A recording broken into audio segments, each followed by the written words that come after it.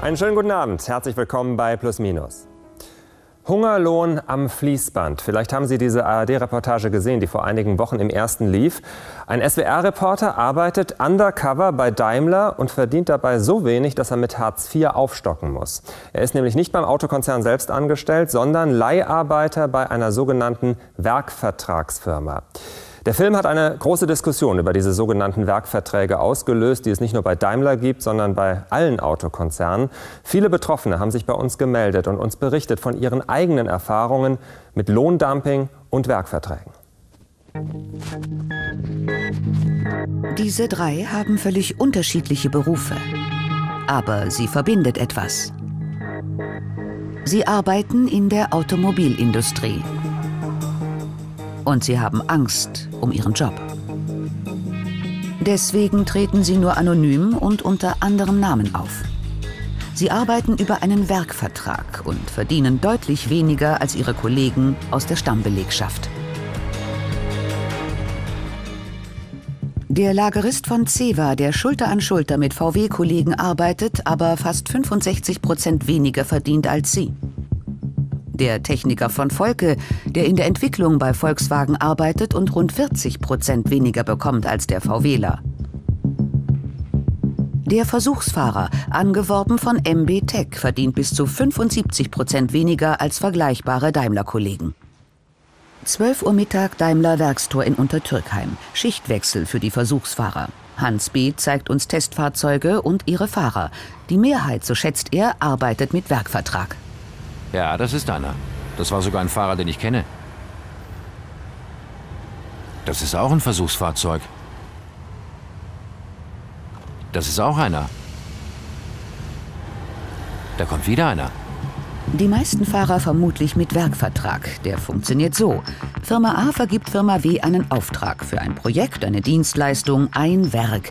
Es bleibt der beauftragten Firma W überlassen, wie sie den Auftrag erfüllt. Also beispielsweise mit wie viel Personal, wie viel sie bezahlt. Wichtig, Firma W arbeitet weitgehend selbstständig mit eigenem Werkzeug und Know-how.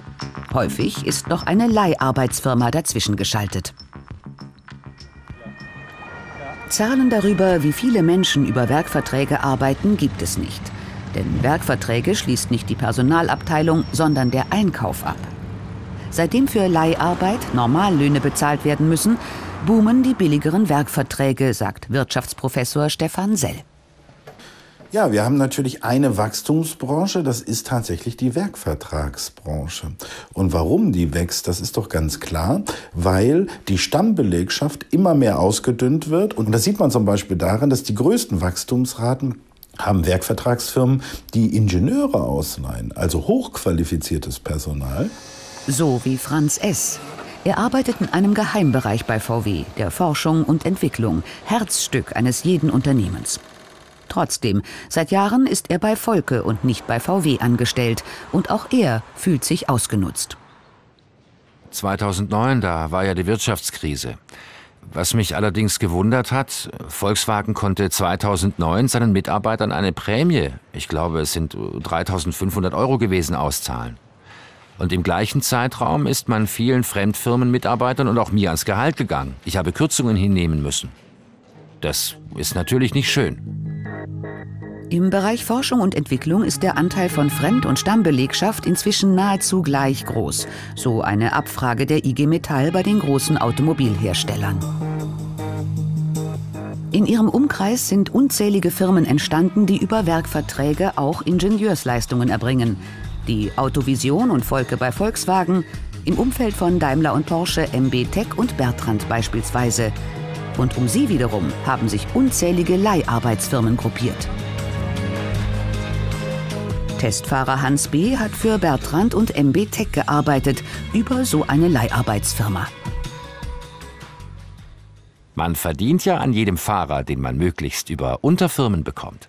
Und das Ganze wird so billig wie möglich gestaltet. Dabei gibt es noch ein Problem. Stammpersonal und Vertragsarbeiter müssen per Gesetz getrennt voneinander arbeiten.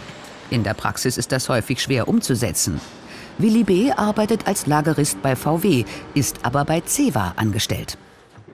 Wir machen dieselben Tätigkeiten wie die Kollegen von Volkswagen, sind in den Arbeitsablauf integriert, arbeiten Hand in Hand. Das geht gar nicht ohne uns. Räumliche Trennung ist nicht möglich. Und es ist so, dass die Kollegen Anweisungen bekommen von den Kollegen von Volkswagen, sprich von den Führungskräften. Wenn man nicht diese andere Arbeitskleidung anhaben würde, würde man nicht merken, dass wir nicht zur Stammbelegschaft gehören. Doch wer bei solchen Verstößen erwischt wird, hat einen Ausweg, erläutert Stefan Sell. Wenn das jetzt rauskommt, müsste normalerweise das entleihende Unternehmen diese illegal beschäftigten Leiharbeiter übernehmen in ein festes Arbeitsverhältnis, müsste die Löhne nachzahlen, die Sozialversicherungsbeiträge und würde sogar ein Strafverfahren bekommen. Jetzt gibt es aber ein Schlupfloch und das ist äh, wirklich skandalös. Die Werkvertragsfirma kann sich einfach ein Dokument besorgen, die Erlaubnis zur Arbeitnehmerüberlassung. Wenn die Firma gegen den Werkvertrag verstößt, kann sie die Kontrolleure auf die Erlaubnis zur Leiharbeit hinweisen und kommt ohne Strafe davon. Auf Anfrage von Plus Minus bestätigt das Arbeitsministerium, der Missbrauch unter dem Deckmantel von Werkverträgen sei bekannt. Handeln werde man aber erst nach der Bundestagswahl. Man weigert sich hier ganz systematisch, verschiebt diese Angelegenheit bis zur Wahl. Das dauert dann wieder, einfach um das Problem auszusitzen. Man könnte das mit einem Federstrich lösen, das Problem. So können die Firmen weiterhin relativ gefahrlos Fremd- und Stammbelegschaft zusammenarbeiten lassen und Personalkosten sparen. Zur Nutzung von Werkverträgen schweigt Daimler. VW schreibt an Plus Minus, das sei ein normaler Vorgang. VW achte auch bei den Lieferanten auf hohe soziale Standards. Und das war Plus Minus für heute aus Stuttgart. Mehr zu unseren Themen wie immer auf plusminus.de und im ARD-Text Seite 375. Danke fürs Zuschauen. Einen schönen Abend noch hier im ersten. Tschüss, bis bald.